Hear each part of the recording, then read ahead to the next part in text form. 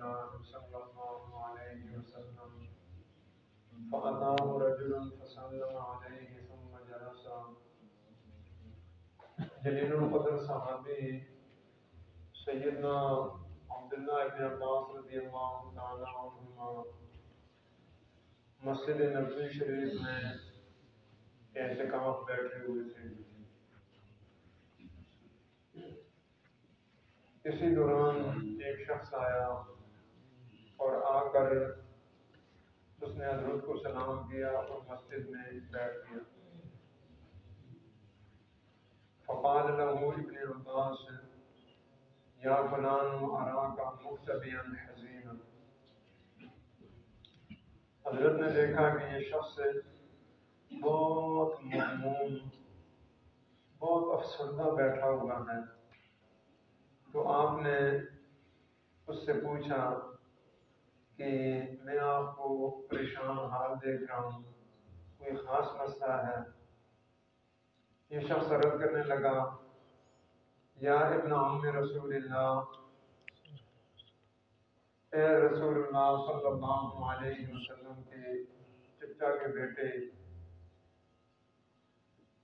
فلاں آدمی کا میرے اوپر قرض ہے اور وحرمت صاحب هذا القبر ما اقدر علیہ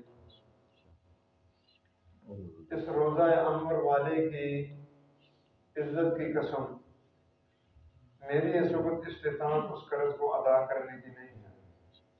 مقروض ہوں، لیکن قرض ادا کرنے کی استطاعت نہیں رکھتا۔ اور وہ آدمی تنگ کر رہا۔ قال ابن عباس افلا اکلمه فیکا سیدنا عبداللہ ابن عباس رضی اللہ تعالیٰ عنہ نے فرمایا کہ بھائی، آپ چاہتے ہو کہ میں آپ کے معاملے میں اس سے بات کروں کہ کچھ وقت دے دے، کچھ معاف کر دے۔ آپ چاہتے ہو کہ میں آپ کے معاملے میں بات کروں۔ قال ان احببتا یہ شخص عرض کرنے لگا کہ حضرت اگر آپ مناسب سمجھے۔ تو یہ آپ کا احسان ہوگا، میرے لیے سہولت ہو جائے گی۔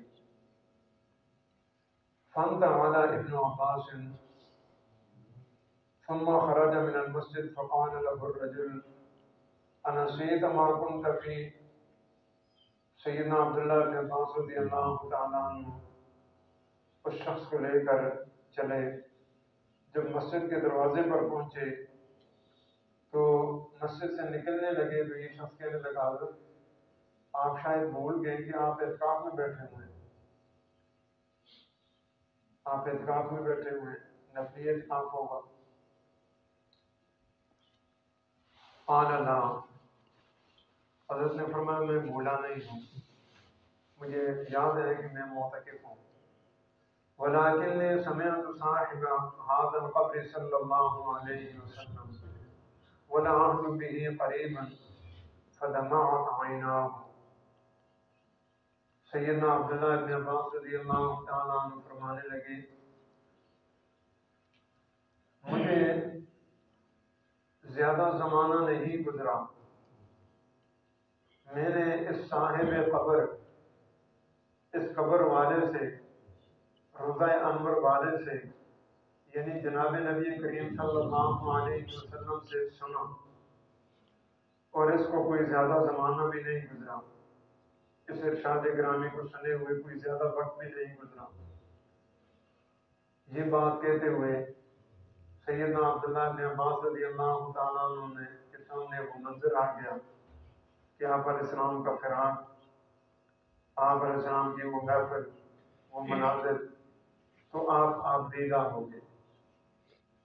فدمت عیناہ آپ کی آنکھیں بہنے لگی پھر سیدنا عبداللہ بن عباس رضی اللہ تعالیٰ عنہ نے فرمایا، وہ ہوا یقول، جناب نبی کریم صلی اللہ علیہ وسلم کا ارشاد گرامی من مشا فی حاجت اخیہ وبلغ فیها کان خیرا له من اعتکاف عشر سنین۔ جو شخص اپنے مسلمان بھائی کے کسی بھی کام میں اس کے ساتھ چلے اور اس کے کام میں کوشش کرے کہ اس میرے مسلمان بھائی کا یہ کام ہو جائے۔ اس کے لیے کوشش کرے، اس کے لیے قدم رکھے۔ فرمایا، اس کوشش اور اس چلنے پر اس کو دس سال کے نفلی احتکام کا ثواب دیا جائے گا۔